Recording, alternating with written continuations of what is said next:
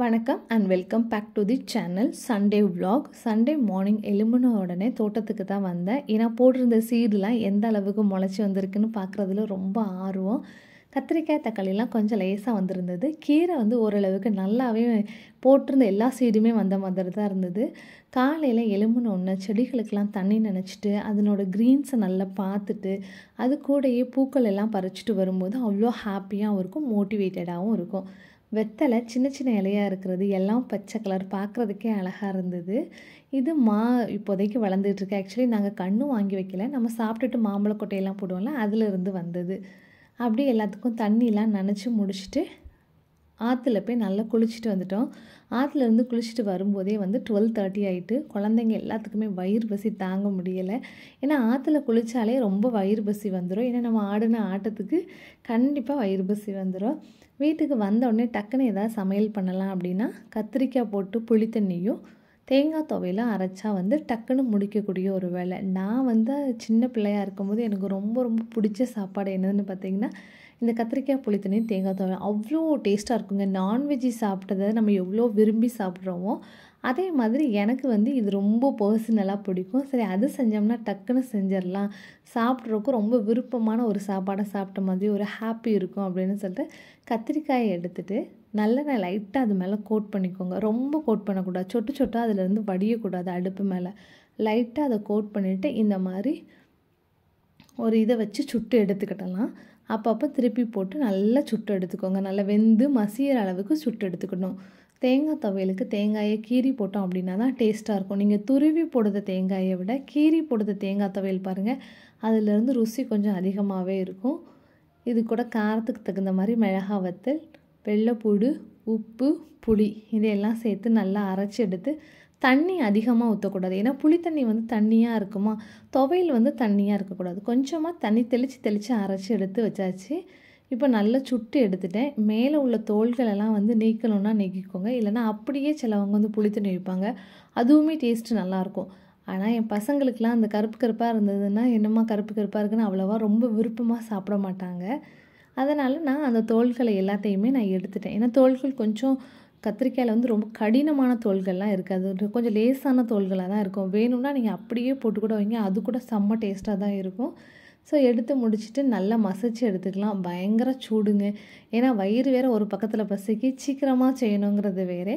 So அதனால் கடகடன்னு video எடுத்துக்கிட்டே நம்ம வந்து ஒரு சமையல் பண்ணணும் அப்படின்னா பத்து நிமிஷத்தில் பண்ணக்கூடிய ஒரு சமையல் வந்து இருபது நிமிஷம் எக்ஸ்டெண்ட் ஆயிரும். ஒரு கடாய் வச்சுக்கோங்க. நல்லெண்ணெய் ஊற்றிட்டு கடுகு உளுத்தம் பருப்பு காரத்துக்கு தகுந்த மாதிரி வரமிளகாய் சின்ன வெங்காயம் வந்து ஆப்ஷனல் தான். ஆனால் போட்டால் நல்லா இருக்குமே அப்படிங்கிறதுனால போட்டிருக்கேன். ஒரு நாலஞ்சு சின்ன வெங்காயத்தை அரிஞ்சு அதோடு சேர்த்துட்டு கருவேப்பிலை சேர்த்துட்டு மஞ்சள் பொடி காயப்பொடி இப்போ மசிச்சு வச்சுருந்த கத்தரிக்காய். இது எல்லாத்தையும் போட்டுட்டு நல்லா வதக்கி விட்டுக்கோங்க.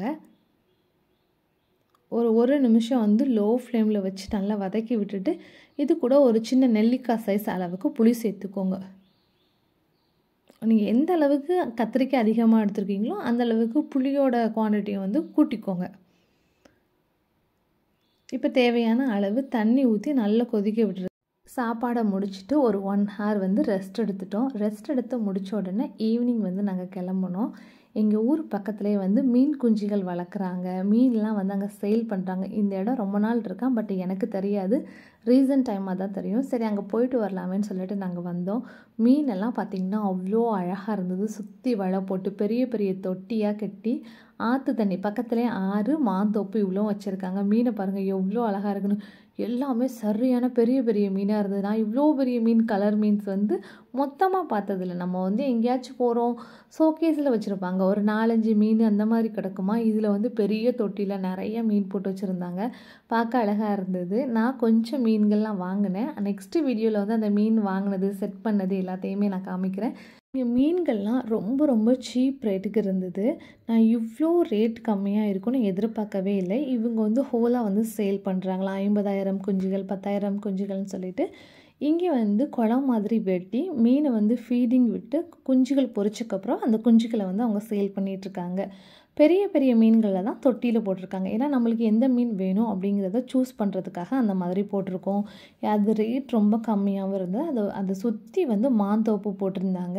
நிறையா இந்த சீசன் வந்த உடனே மாந்தோப்பில் நிறையா பூக்களும் காய்களும் பிஞ்சு விட்டுருந்தது. பார்க்கவே ரொம்ப அழகாக இருந்தது. அது பக்கத்துலேயே தான் எங்கள் அப்பா வந்து செங்கல் பிஸ்னஸ் ரொம்ப நாளாக பண்ணிகிட்ருக்காங்க தோட்டத்தில்.